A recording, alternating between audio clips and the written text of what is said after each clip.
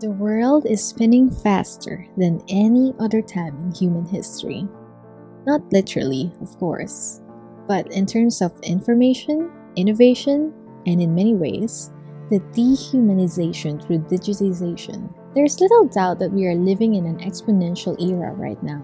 For those born in the analog generation like myself, the urge to wind back the hands of time grows stronger and stronger with every tick tock of the clock.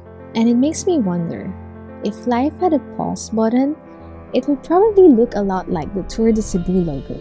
For the uninitiated, the Tour de Cebu may seem like just another fun run for the boys with their toys. But to those who have been participating over the last nine years, it's a chance to go back in time when life was much simpler to celebrate a passion that has only become deeper as the world becomes shallower.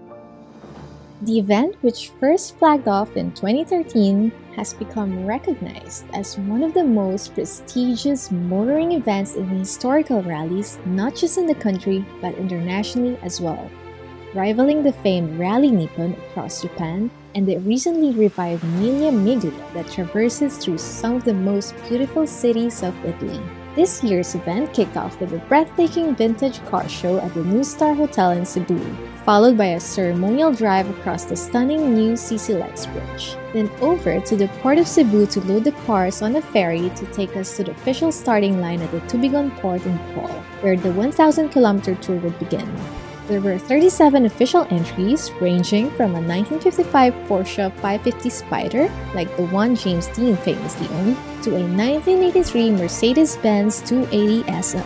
The competition is open to cars 1972 and older, but allows for some of the newer cars like the 1983 280 SL and a few 1974 Porsches to join for the experience and the special category awards. Sadly, my 2022 Nissan Kicks was just too new to join, so I was paired up with James Deakin, host of CNN's motoring show Drive, who was driving a 1963 Kougar, which is the racing edition of the fabled E-Type Jaguar.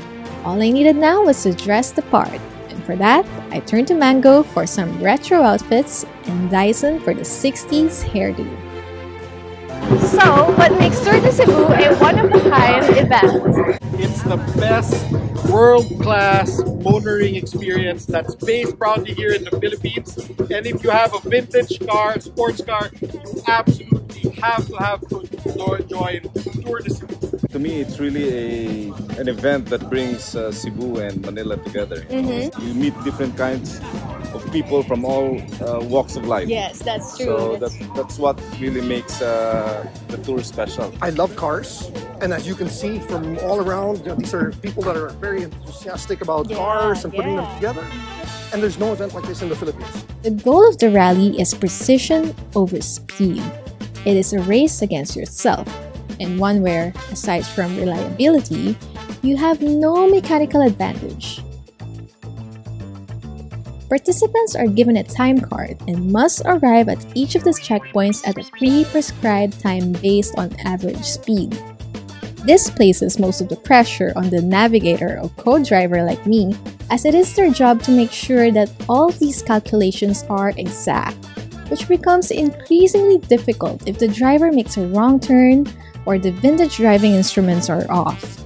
We tried to keep up with the pack at first, but eventually we had to make a choice between focusing on the race or on the coverage. And as we are both content creators, we slowed it down a bit to allow time for photos and videos.